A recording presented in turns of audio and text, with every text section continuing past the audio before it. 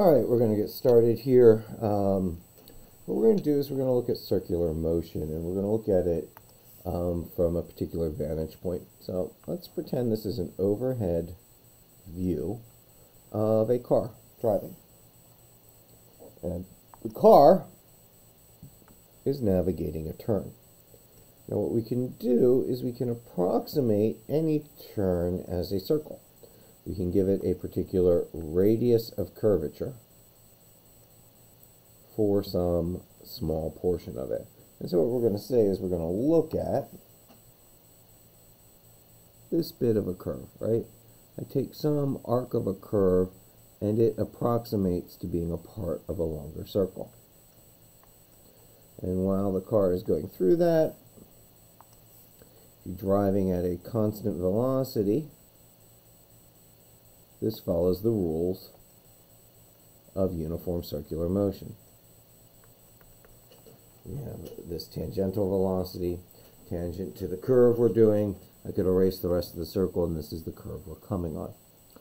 And what we want to do is we want to provide the turning force. Now, that's generally done by friction between your tires and the road.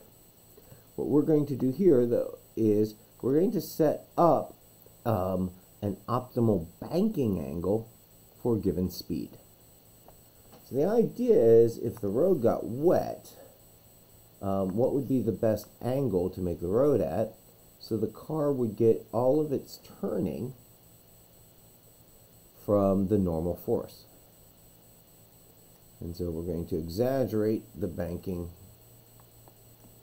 of the road here. And let's put our car on the road.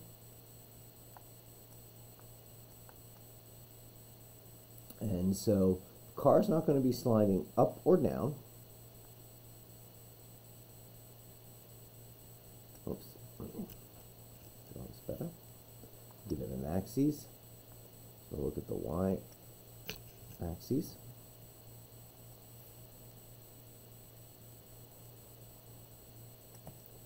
my y axis.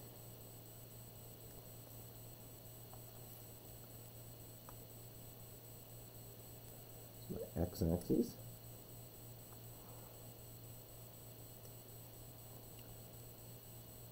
And we're going to make the normal force go in this direction. That's force normal.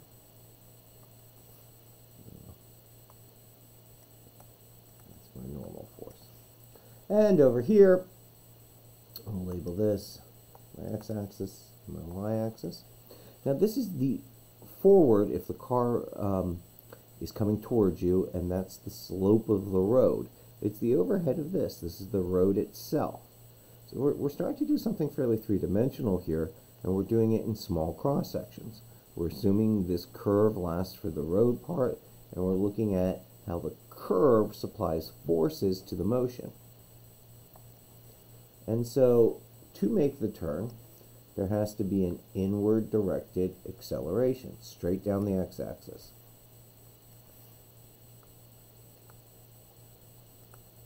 And that's a sub r. There's still gravity.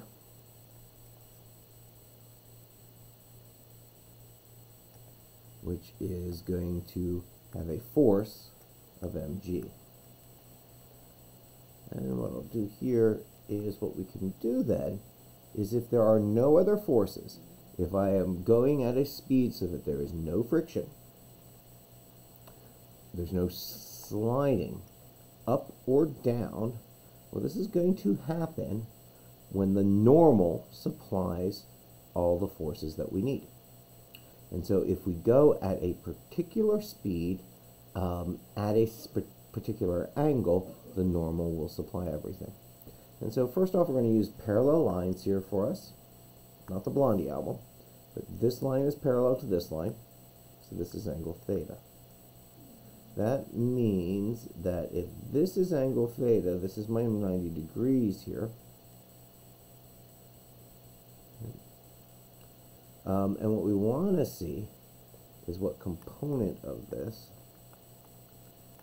comes down.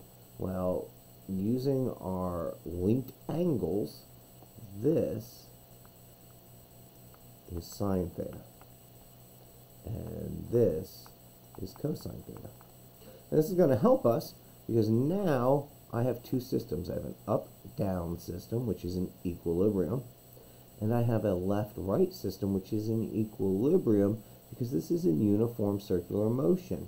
This is going to make a circle where this is not going to go any further out due to the application of this inward acceleration. The only thing supplying it is the normal force. So if we look at that equation, what we're going to say is the mass of the car times the acceleration will be supplied by the normal force. But we know uniform circular motion is related like this. And so we have our x components. If we come over and look at our y components, right, I have an up-down equilibrium, so these are equal. So I can solve for f of n. Now, I'm not going to worry about plugging numbers in. I'm going to go right away and sub this over for f of m. So I get mg sine theta over cosine theta equals mv squared over r.